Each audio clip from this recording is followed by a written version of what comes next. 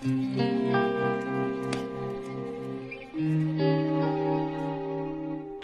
dang it, I'm out of clean socks. God dang it. Breakfast is ready!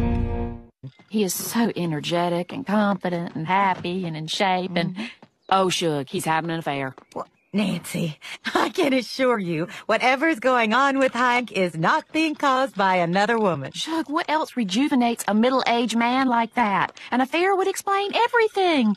Well, except for his pimples. Oh, no, those are just a side effect. Side effect? From happiness. you know, they're just little zits of joy. That iced tea ready?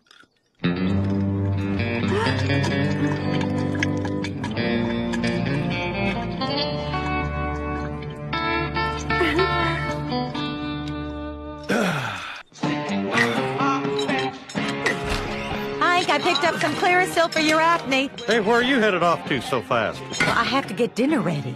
Dinner can wait. I say we hit the bedroom. Hank, we can't fool around now. Your dad is on his way over for dinner. What?